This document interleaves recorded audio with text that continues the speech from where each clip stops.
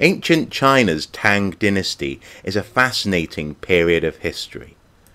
It was a time rich with political intrigue, beautiful artwork, and technological advancement. During the 8th century, in the latter part of the Tang dynasty, a general wanted to create armour for use by civilians in times of peril. For this armour he did not turn to blacksmiths and metal, this was too expensive, nor did he turn to leather, another stalwart solution for protective gear. Indeed, even stone armour has been attested from earlier times, but this was not his solution. Rather, the general turned to paper now you may be thinking that paper would be of little use on a battlefield, however records indicate that this armour was very effective against archers and even swords. Lamination, multiple thin layers together, is the basis of many modern bulletproof vests.